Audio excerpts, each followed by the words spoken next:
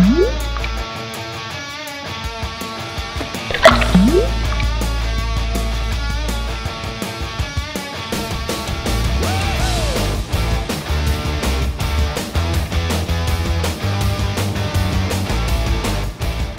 theme we're dealing with with this episode with you, Sean, is speed. Speed is applied to your work because yeah. you're fast. Yeah, I just love technical drawing. I love the challenge.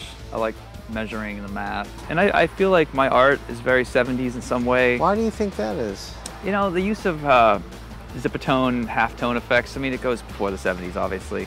But a lot of the artists that I was really into were like the DC Comics guys who were really heavy into blacks. All right, yeah. cool. Well, let's take her out. Sure, man.